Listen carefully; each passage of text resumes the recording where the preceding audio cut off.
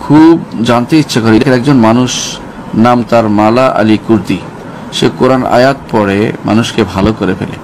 এখন এ বিষয়ে আপনার মতামত জানতে চাচ্ছি। উত্তর দিলে খুশি হব। আমি বিষয়টা নিয়ে গবেষণা করেছি। এই লোকটি একটি বড় ফেতনাবাস এবং সে একটা দাজ্জাল। সে একটু মিথ্যাচার করে। সে লোক আগে থেকে সেট করে নিয়ে আসে। এরা নিয়ে আসলে সে তার দেখায় এই। ও কিছু লোক দেখে এরপরে অন্যরা ভরং ধরে। এটা একটা, তার একটা ম্যাজিশিয়ানের মতো ম্যাজিক মালাল কুর্দি সে একটা আসলেই খুব ক্ষতিকর লোক এবং তাকে ইতিমধ্যে বিভিন্নভাবে সে তার ইয়া ধরা পড়ে গেছে এবং তার এই বিশেষ করে তার কুকৃতি ধরা ধরা পড়ে গেছে এবং সে কয়েকবার জেলও খেটেছে এবং সৌদি আরব থেকে তাকে জেলে নেওয়া হয়েছে এবং সেখান থেকে তাকে বিভিন্ন মুসলেখা দিয়ে বের হতে হয়েছে। এর অর্থ হচ্ছে সে আসলেই একজন ভণ্ড প্রতারক।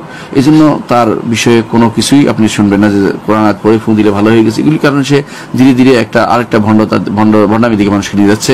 হ্যাঁ কোরআন আয়াত আয়াত নিঃসন্দেহে কোরআন আয়াত মানুষের শিফা জন আল্লাহ তালা কোরআন কারিম বলেছেন ও নুনাজুল মিনাল কোরআনে মা হুয়া শিফা ও রহমাতুল মিনিন ওলা ইজিদ আলমিন ইল্লা খাসার। আল্লাহ তালা যে কোরআন নাজিল করেছেন শিফা, এই শিফা পড়লে হবে। কিন্তু এই লোক যে দাবি করে করে যে সব অসুখ ভালো হয়ে যাবে, বোবা বোবা মানুষ কথা বলে ফেলবে বা তার এই, হাঁটতে পারে না, হাঁটা হাঁটা শুরু করে দিবে, ফু দিয়ে দিবে, এই জাতীয় যে দাবি করতেছে এইটা হচ্ছে অতিরিক্ত দাবি করা। দাবি করে না, দোয়া করতে পারে, আল্লাহ তালা ভালো করতে পারেন। কখনো হয়, কখনো হবে না, এরকম। কিন্তু সে যেটা দেখাচ্ছে, এটা অর্থ হচ্ছে একেবারে মানুষ যেন পাগল তার বাড়িতে ছুটে এবং সেটা করে। এটা একটা পরবর্তী প্রমাণিত হয়ে গেছে প্রুভড হয়ে গেছে, সে আসলে একটা ভণ্ড এবং প্রতারক। এই জন্য তার ব্যাপারে আমরা সাবধান থাকি আসসালামু আলাইকুম শায়েখ। ওয়ালাইকুম আসসালাম ওয়া রাহমাতুল্লাহি ওয়া বারাকাতুহু।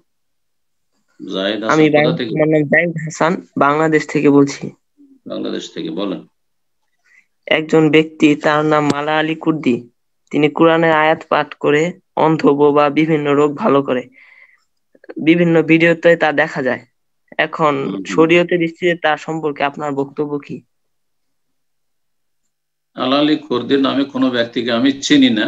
হ্যাঁ শুনেছি যে এরকম কিছু। কিন্তু যা শুনছি, তাতে মনে হচ্ছে যে সে একজন প্রতারক আর সে নিশ্চয়ই কোন শির্ক বিদাতের আশ্রয় নিচ্ছে আর মানুষের সাথে প্রতারণা করছে অথবা জিন ব্যবহার করছে আর জিনের সাহায্য নেওয়া হারাম। যদি কেউ যদি ইস্তেখদামুল জিন করে, জিনের সাহায্য নেন জিনদের মধ্যে বড় বড় চিকিৎসক আছে, হতে পারে জিনদেরকে দিয়ে কিছু করছে। কিছু করছে, কিছু ভেলকিবাজি করছে। আজকাল তো ভেলকিবাজিও চলছে।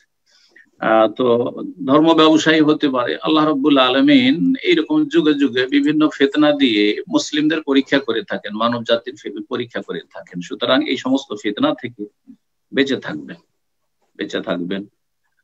না হলে গুমরাহির আশঙ্কা বেশি রয়েছে। সুতরাং সমস্ত ভাই বোনদেরকে বলব যে এই সমস্ত রকমের ফিতনা থেকে যেখানে পদস্খলন ঘটতে পারে, যেখানে গুমরাহির দরজা খোলা আছে, যেখানে শয়তান সুযোগ নিচ্ছে, সেসব রাস্তাগুলিকে বন্ধ করবেন এবং আল্লাহ রাবুল আলমিনের প্রতি ইমান তাওয়াক্কুল, আস্থা, ভরসা মজবুত করবেন এবং পার্থিব যেসব মাধ্যম রয়েছে চিকিৎসার কোন রোগের জন্য সেসব চিকিৎসা করবেন। আর এইসব ভেলকিবাজদের পেছনে ছুটবেন না এবং এইসব প্রতারকদের অনুসরণ করবেন না। না হলে শয়তান বিস্তার লাভ করবে। শয়তান জাহান নামের দিকে নিয়ে চলে যাবে। মানুষ শয়তান এবং জিন শয়তান সবসময় ধোকা দেওয়ার জন্য, ক্ষতি করার জন্য লেগে আছে জাহান নামে নিয়ে যাওয়ার জন্য লেগে আছে। আল্লাহর উপরে যেন মুসলিম জাতির হেফাজত করেন। বিশেষ করে মহিলাদের আল্লাহ হেফাজত করেন। তাদের ইমান বেশি দুর্বল, তারা বেশি আবেগী, যার ফলে এরা বেশি ছুটে। আমি বেশ কিছু পশ্চিমা দেশ থেকে খবর পেয়েছি।